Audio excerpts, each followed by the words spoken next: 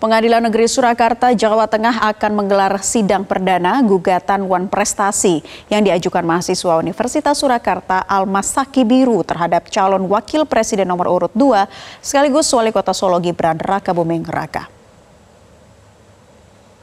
Melalui kuasa hukumnya, Almas Saki Biru mengaku siap dan akan hadir dalam sidang perdana hari ini. Sidang akan dipimpin oleh tiga hakim dengan Ketua Majelis Sri Kuncoro, anggota 1 Mahaputra dan anggota 2 Nur Hayati Nasution. Kuasa hukum Almas menyatakan pembuktian akan dilakukan saat sidang dimulai. Pihak Almas pun mengaku tak mempermasalahkan adanya pihak yang mempertanyakan gugatan tersebut. Untuk informasi terkini kita bergabung dengan koresponden Metro TV Arif Nuryanto dari Pengadilan Negeri Surakarta, Jawa Tengah. Langsung saja kita sapa Arif, apa agenda sidang siang hari ini? Baik, selamat pagi Naila. Uh, saat ini saya berada di Pengadilan Negeri Kota Surakarta, uh, di mana pada hari ini pada pukul 10 nanti akan dijadwalkan sidang perdana, yakni uh, dari gugatan Almas Tapi Biru kepada calon wakil presiden dari nomor urut 2, Gibran Raka Buming Raka.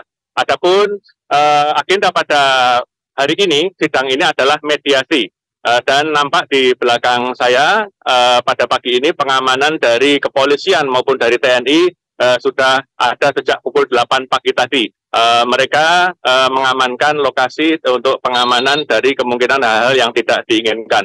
Uh, sekira ada uh, puluhan dari petugas kepolisian. Nah, uh, perlu diketahui juga bahwa saat uh, nanti eh, persidangan ini akan dipimpin dengan Ketua Majelis Sidang yakni Majid, eh, Sri Kuncoro, kemudian dengan anggota satu Mahaputra dan anggota dua Nur Hayati Nasution.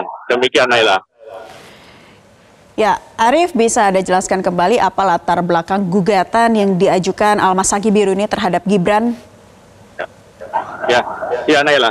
Jadi alasan Almasaki Biru ini, uh, dia mengajukan gugatan ini karena Gibran Raka Buming Raka ini dianggap dianggap uh, istilah uh, tidak ada etikat baik atau pengucapan terima kasih kepada uh, Almas yang uh, Gibran dianggap tidak uh, mempunyai etikat baik dan dia digugat 10 juta rupiah untuk bisa diberikan atau disumbangkan kepada panti asuhan. Nah, ini uh, latar belakangnya karena Almas sendiri waktu itu adalah yang menggugat uh, batasan usia ya ini di Mahkamah Konstitusi yaitu pada waktu itu adalah us batasan usia calon presiden maupun wakil presiden adalah eh, uh, 40 tahun sedangkan Mas Gibran Raka Buming Raka ini adalah belum mencapai usia 40 tahun. Nah, waktu itu uh, Almas Sakit Biru bersama kuasa hukumnya melakukan gugatan dan akhirnya dikabulkan.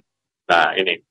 Nah, akhirnya uh, namun pada perjalanannya uh, akhirnya uh, dari Almas Sakit Biru dan melalui kuasa hukumnya yakni Mas Arief Saudi uh, mereka menyatakan bahwa uh, Gibran Raka Buming Raka ini uh, tidak berterima kasih kepada mereka. Demikian Naila.